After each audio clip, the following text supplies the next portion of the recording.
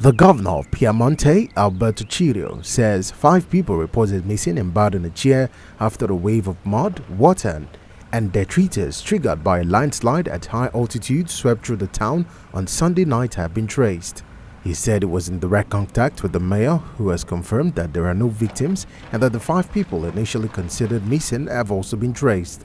The governor, who described the development as good news, said the central government was ready to do its part to help the situation. One person is reported to have sustained slight injuries in the unexpected flood after the local Merdovine River burst its bank.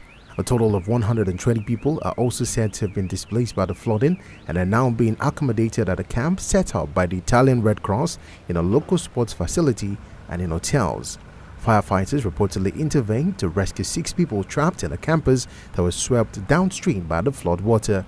Bridges have also been damaged, rendering the Alpine town near the French border inaccessible to all but the emergency services.